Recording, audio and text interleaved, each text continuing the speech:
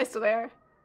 I don't think half my class could sit still for five minutes, even if I offered them a million dollars. well, that's because they don't want a million dollars. They want a million minutes of classroom time to scroll on their phone. oh, God, yes.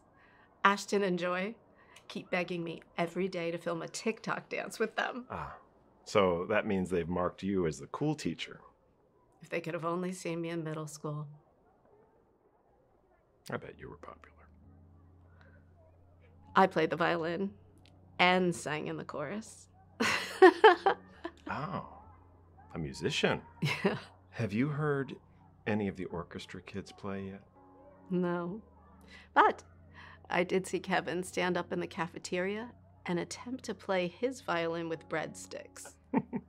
How was his performance? Better than when the entire eighth grade boys football team sang My Heart Will Go On in the variety show. Now that was quite a performance. yeah, that was rough. Hmm. This whole year's been rough. You know what we need?